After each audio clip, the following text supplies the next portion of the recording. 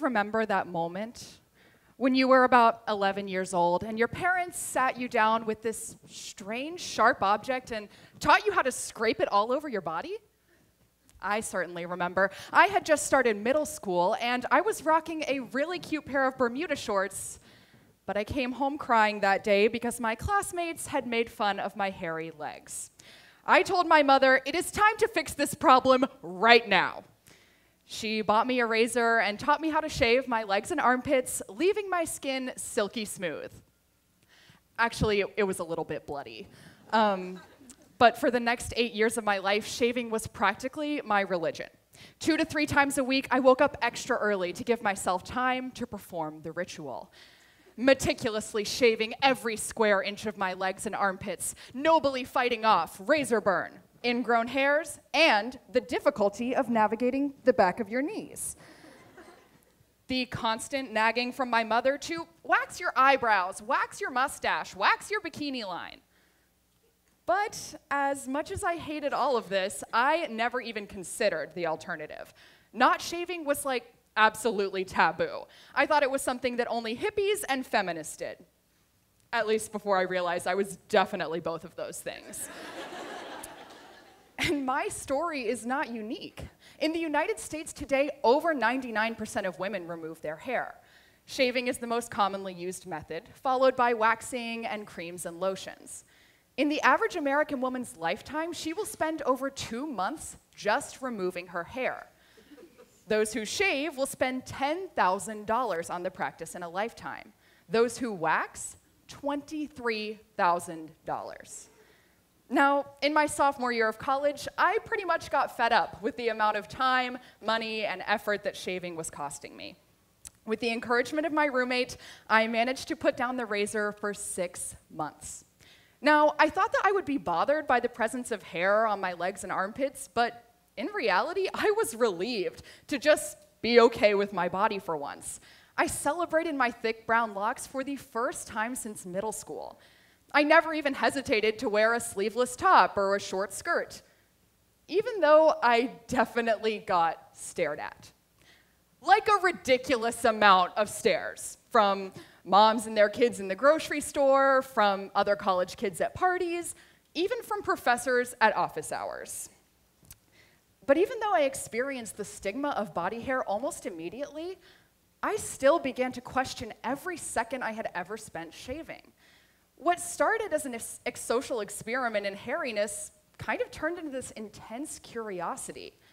If having body hair really doesn't affect your life all that much, why are 99% of us still enduring this misery? Is having smooth skin really worth all that trouble? I decided to dive in and investigate the history of American women's body hair removal in order to investigate its causes and its consequences. Now, of course, this talk is not going to be all encompassing. There still isn't much to say about the way that race, gender, and class affect body hair removal practices.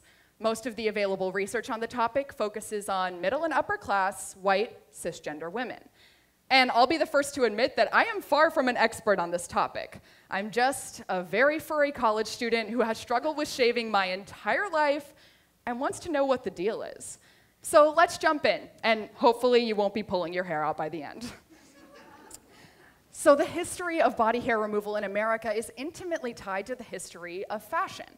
In the early 1900s, women were largely covered up from collarbone to ankle, so hair removal practices were few and far between. In the year 1915, the first sleeveless dresses came onto the market, and advertisers began this guerrilla campaign to banish underarm hair. They marketed it as a way to keep up with the fashion of the day. One advertisement from that period shows a woman with her arms above her head in a sleeveless dress. The text reads, the woman of fashion says the underarm must be as smooth as the face. But these advertisers were alerting women to a problem that they didn't even know they had. By marketing underarm hair as unwanted, unclean, and unfashionable, these companies were expanding their potential markets like crazy. In the 1950s, skirt lengths got shorter and bathing suits came into style, so these advertisers started targeting the legs as well, and not just to keep up with the style of the day. Advertisements from this period read things like, man's eye view, or let's look at your legs, everyone else does. Hairlessness suddenly became synonymous with sexuality and men's pleasure in addition to style. By the year 1964, 98% of women were shaving their legs, and the number has only continued to grow since then. New hair removal technologies make it possible to remove more and more hair. Today, 64% of women between the ages of 18 and 24 even remove all of their pubic hair regularly. Now, this would have been unheard of 30 years ago, but thanks to Victoria's Secret, the porn industry, and one notorious episode of Sex in the City, the Brazilian wax is now the gold standard of hair removal. And pubic hair on women is largely considered to be dirty and unfeminine by both sexes. Kim Kardashian has been quoted as saying that the only place a woman should have hair is on her head, while Victoria Beckham has announced that she thinks the Brazilian wax should be mandatory, starting at age 15. I know. But all this history still begs the $10,000 question why? Why did American women jump on this expensive, time consuming, and painful bandwagon so wholeheartedly?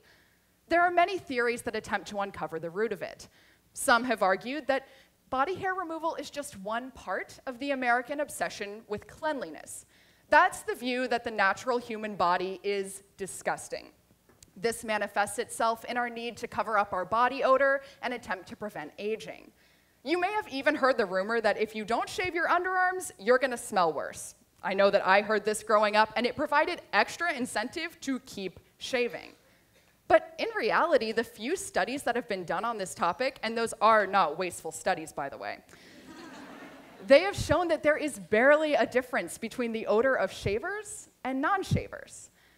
And this cleanliness theory also falls short because it's clearly divided based on gender.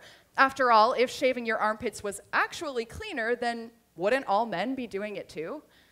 Another proposed theory is that body hair removal is a form of societal manipulation, which pits masculinity and femininity as a strict binary with no overlap. This is what keeps men from doing ballet and women from playing football. It's part of the roots of homophobia and transphobia.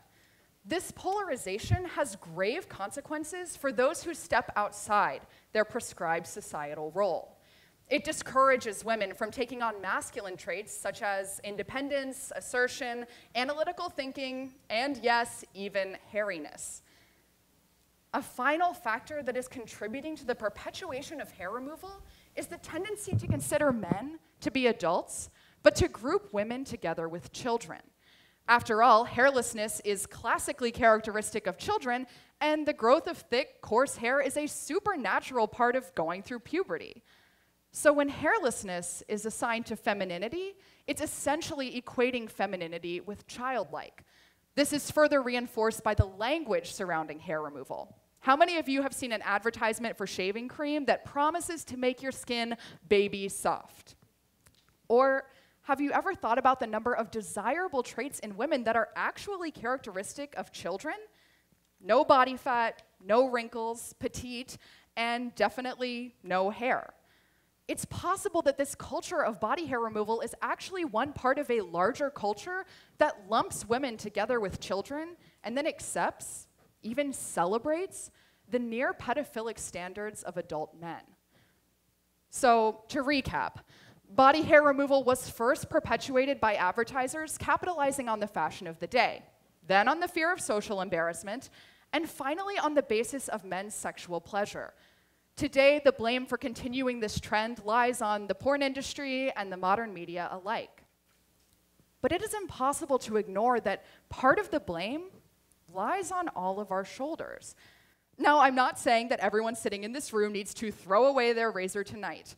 In fact, I do believe that both men and women should be able to shave if they want to, as long as they have recognized and evaluated the factors that led to their decision. What I am asking of those in the room is not to give up the razor. What I am asking is that you give up the stigma. Stop talking about women you see on the street who have hair on their legs and armpits. Stop staring at them in grocery stores, at parties, or at office hours. Stop labeling them as dirty and correct others when you hear them doing it. And if you aren't attracted to certain women because they happen to have hair on their legs, armpits, or anywhere else, then maybe it's time that you reevaluate your standards. I still look back on my 12 year old self picking up the razor for the first time, but I actually prefer to think about my 19 year old self giving up the razor for good, getting more time back in my day, and fighting against this societal norm that has us all tangled up. I will leave you with this. Shaving, waxing, or hair removal of any kind is not necessary or normal. Parents, teach this to your daughters because that is where change really happens from generation to generation. For almost 100 years, we have been taught an oppressive habit. Let's shed that burden, and maybe, just maybe, we can all grow a little more as a result. Thank you.